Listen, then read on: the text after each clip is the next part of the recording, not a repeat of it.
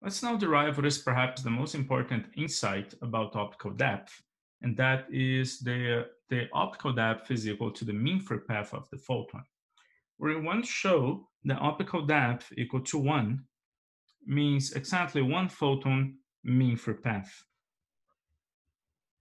So essentially what we want to show is that tau, which is equal to the integral of uh, kappa rho in length, if you do this integral from zero to one mean free path, let's call it MFP, is going to be equal to one. Well, let's use a probabilistic approach. Let's say that the average optical depth over which a photon travels before being absorbed can be given a probabilistic distribution. The average of a quantity is the integral of a quantity times the probability of that quantity, the probability distribution of that quantity over all of the range. And apply this definition to optical depth.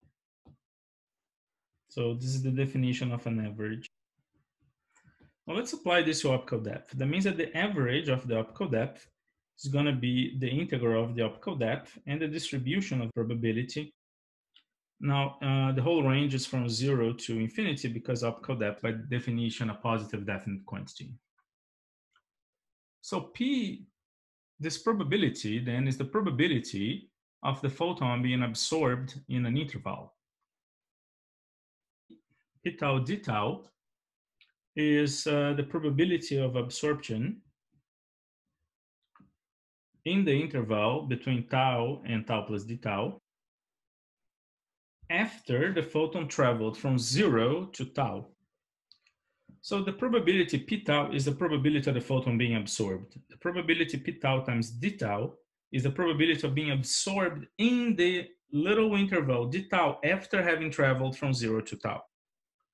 So in other words, it is the probability of not being absorbed from zero to tau and being absorbed in d tau, in the length d tau. Right, so if we frame this in terms of a product, call the first probability P1 and the second probability P2. So let's now construct a mathematical form for the probability of absorption. Um, this form must be zero if there is no absorption, and it must be one if there is absorption. So the following function would be appropriate delta I over the original intensity. It has the desired properties. If there is no absorption, that means that delta I is equal to zero, the intensity didn't change, so the probability is equal to zero. If there is complete absorption, then delta I is going to be equal to the original intensity now minus zero, so that's delta I, and therefore the probability is going to be equal to one. So this is a linear probability that goes from zero to one as you pass from non-absorption to 100% absorption.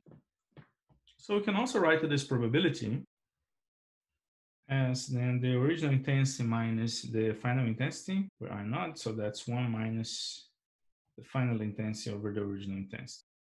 So remember, we call the P1 the probability of the photon not being absorbed. If P is the probability of absorption, then P1 must be equal to 1 minus P, which is then simply I over I naught. And because of the phenomenological law of absorption, this is simply the exponential minus tau. So we found P1. Now, let's think about P2. P2 was the probability that the photon is absorbed within the interval d tau. That means that it is, it is delta I over I, over the infinitesimal interval d tau. So that's simply the infinitesimal change in intensity over the original intensity. And again, from the absorption law, di is equal to minus the original intensity times the infinitesimal of optical depth. So keeping the probability constant, we take the modulus of that, and that's simply d tau. So that means that the total probability P1, P2 is equal to exponential minus tau times d tau. So that is the total probability of the photon not being absorbed from zero to tau and then getting absorbed in the interval d tau. So if we go back to the definition of the average, with p tau, with uh, the probability tau d tau as we just defined, then we can evaluate this integral. That's a simple integral to evaluate. It is minus 1 plus tau exponential minus tau from 0 to infinity, which is equal then to 0 plus exponential of 0, which is equal to 1.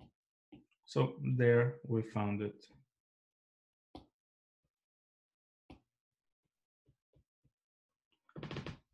Now, how do we interpret this? We arrived at the condition that we wanted to prove. The average optical depth traveled before being absorbed is tau equal 1. And that corresponds then to the mean free path of the photon. Now, notice that if you have an, uh, a homoge uh, homogeneous material, then kappa rho equal constant, then you can write that tau equal 1 is equal to the integral from 0 to the mean free path of kappa rho ds. And that becomes simply kappa rho times the mean free path. So the mean free path itself can be written as 1 over kappa rho. That's a very enlightening relation.